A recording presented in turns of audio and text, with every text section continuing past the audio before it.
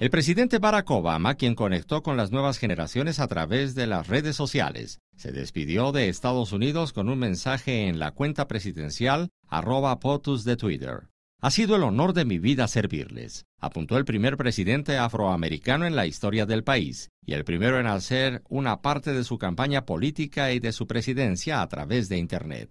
Me hicieron un mejor líder y un mejor hombre, remató en el breve mensaje a sus 13.6 millones de seguidores. Aunque Obama fue el primero en el uso político de las redes sociales como Facebook, Vimeo o Blick, Trump convirtió su cuenta de Twitter en un instrumento para criticar a los medios, responder a sus críticos y definir la agenda mediática durante su campaña presidencial.